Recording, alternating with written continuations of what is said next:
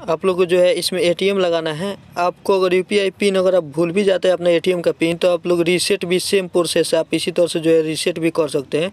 तो आप एटीएम जैसे ही लगाते हैं, कुछ ऐसा इंटरफेस आपको देखने को मिलता है।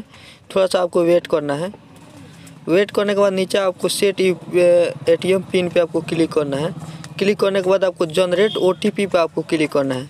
जनरेट ओटीपी वाला बटन पर आपको क्लिक करना है।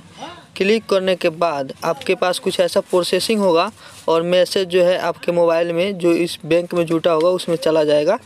तो आप लोग उस मैसेज को ले लीजिए। अगर आप अपना एटीएम पिन भूल भी गए हैं तो सेम प्रोसेस है। इसी तरह से आप लोग ओटीपी जनरेट करना है। उसके बाद देन आपको उस ओटीपी को डालकर अपना न्यू पासवर्ड जो है यहाँ से बना सकते हैं। तो मैं आपको बताता हूँ, फिर से आपको दोबारा से जो है एटीएम को लगाना है। इस ए को मैं निकाल देता हूँ। निकाल दिया मैंने इस एटीएम को। उसके बाद मैं फिर से लगाऊँगा और आप लोग को दिखाऊँगा किस तरह से आपको क्या करना है। तो यहाँ पे मैंने फिर से एटीएम को जो है लगा दिया है।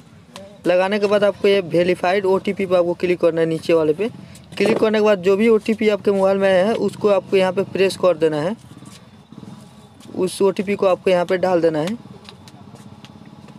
जो भी आपका ओटीपी है, यहाँ पे आपको डालने के बाद आपको न्यू पासवर्ड जो है चेंज करने का ऑप्शन आ जाएगा। आप चेंज कर सकते हैं इजीली तो इसी तरह से अपना जो है पासवर्ड चेंज कर सकते हैं। आई होप कि छोटी सी वीडियो आप लोग काफ़ी अच्छा लगा होगा।